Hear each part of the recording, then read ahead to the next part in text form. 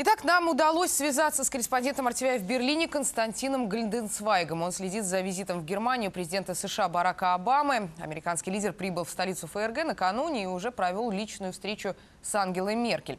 Завтра в пятницу в Берлин прибудут, э, прибудут лидеры Франции, Италии, Великобритании и Испании.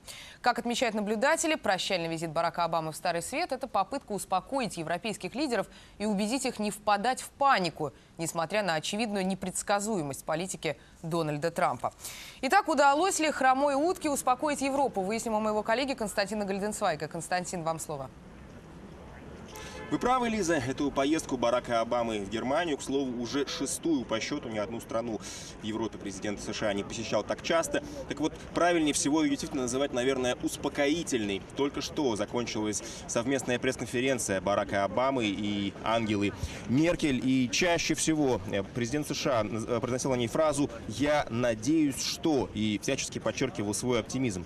Надеется все еще действующий президент США, что его преемник, несмотря на предвыборную угрозу, угрозы цитата, «ответственно отнесется к работе в Белом доме», что при новой администрации, несмотря на риторику Трампа, США не откажутся от важнейших достижений за годы правления Обамы и Меркель, например, от уже ратифицированного Америкой Парижского соглашения о борьбе с изменением климата или от так и не принятого Евросоюзом и Соединенными Штатами соглашения ТИТИП о свободной торговле.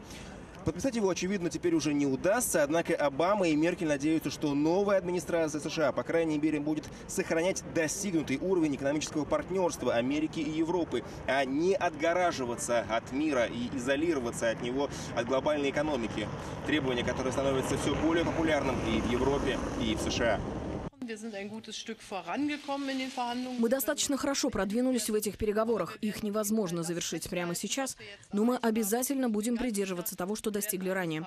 И я уверена, что однажды мы вернемся к этой теме.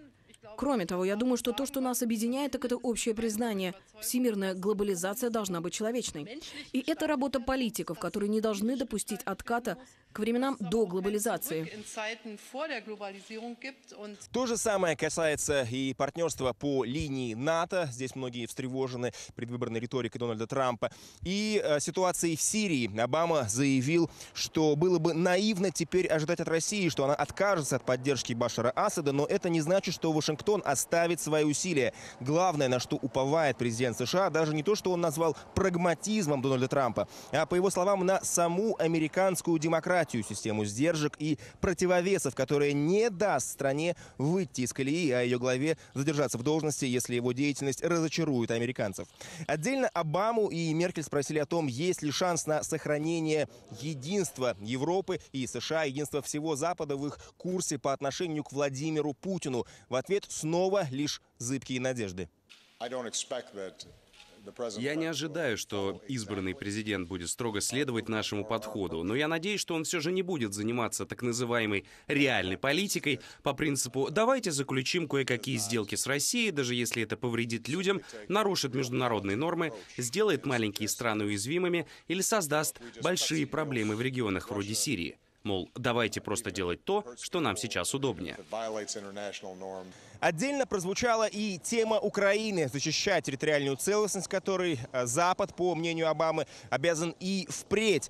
Кроме того, другую важную тему в Германии определяют как угрозу либеральной демократии во всем мире и прихода популистов к власти уже в Европе. В Берлине с тревогой следят за тем, как избранный президент США берет свою команду ультраконсервативных политиков и как, например, первым делом встречается с лидером британских популистов Найджелом Фарджем. Не случайно Обама долго и щедро хвалил лидерские способности способности Меркель, которую здесь многие называют последним оплотом либеральной демократии.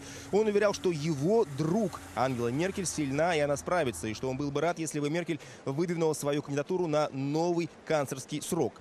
Оба говорили о причинах такого международного успеха сторонников простых рецептов в политике, называя это следствием наступления нового оцифрованного мира, где слухи, пущенные в соцсетях, оказываются для многих убедительнее фактов. Особенно для простых избирателей, кто не выиграл от глобализации, а наоборот не смог найти себе место в новом мире. И вот достучаться до этих людей, уверена Обама и Меркель, теперь и будет ключевой задачей западных политиков. Если глобальная экономика не принимает во внимание нужды людей, которые чувствуют себя обделенными, если неравенство нарастает, то в конечном счете мы станем свидетелями все большего раскола в индустриально развитых странах по всему миру. Помимо основной официальной программы, Барак Обама и Ангела Меркель еще накануне встретились за совместным ужином с глазу на глаз в гостинице «Адлон», где поселился президент США. Этот ужин продлился более трех часов, что опять же подчеркивает особый характер отношений двух лидеров. Несмотря на былые противоречия США и ФРГ, шпионские скандалы и прочие неурядицы, они называют друг друга ключевыми партнерами. А Ангела Меркель признается, что ей жаль, что эти 8 лет президентства Обамы миновали.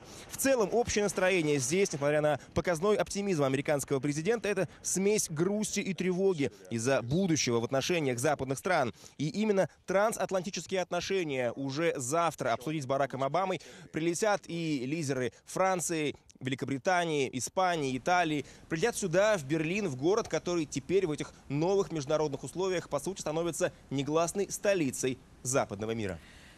Спасибо, Константин. Мой коллега из Берлина Константин Гальденсвайк о визите Барака Обамы в Европу.